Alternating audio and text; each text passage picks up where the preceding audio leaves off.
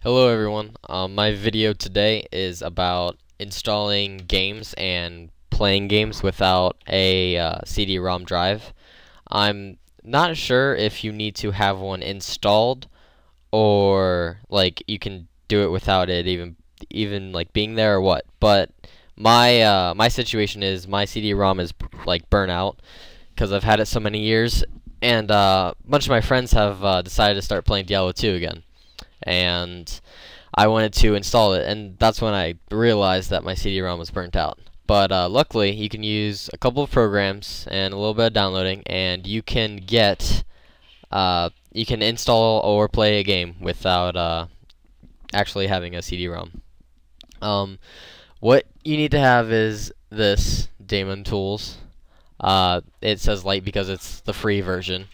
What this does is this is your uh, Hmm.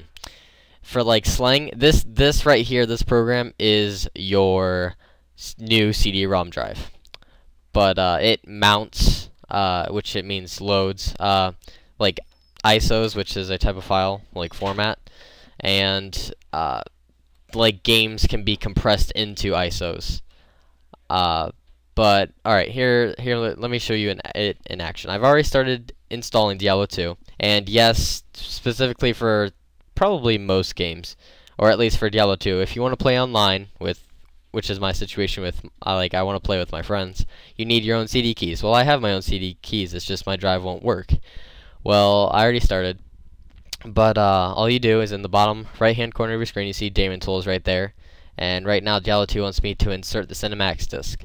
Here's the folder where I downloaded uh, all the files for uh, Diablo 2. So you actually download the game but uh, it should like contain the ISO files.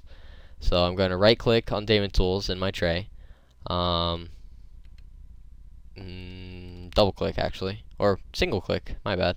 Uh, then you'd go into your device. Uh, K would just means it's like uh, what letter your CD-ROM drive is, even if it works or doesn't work, so, or if it's not there. I haven't figured that out yet, but uh, it wants me to insert the Cinematics disk. So I'll click the Cinematics disk ISO, open it up, and it says mounting image.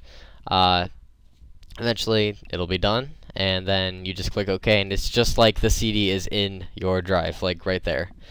Uh, that's actually pretty much it. I just wanted to uh, help anyone who ever needed to uh, know how to use like a, their CD-ROM if uh, it like doesn't work or if they don't have one or they need to use a disk or uh, install a game and that's just one of the ways you can do it. So you can just Google Daemon Tools or Daemon and you should find the site and just uh, read. I'm sure all of you are capable of doing that.